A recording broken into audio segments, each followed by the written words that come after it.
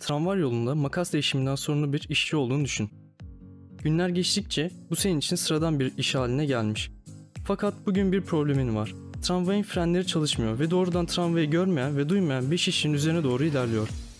Eğer bir şey yapmazsan hepsi ölecek.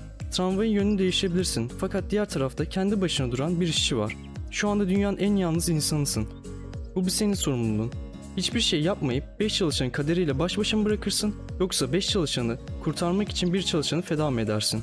Eğer bu karar yeterince zor gelmediyse başka bir seçenek ekleyelim. Bir köprüdesin ve yine 5 işçiye doğru bir tramvay geliyor.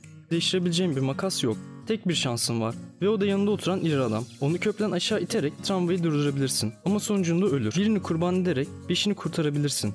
Fakat bu işin sonunda doğrunun ne olduğu bilinmez. İnsanların yaşamları birbiriyle kıyaslanabilir mi?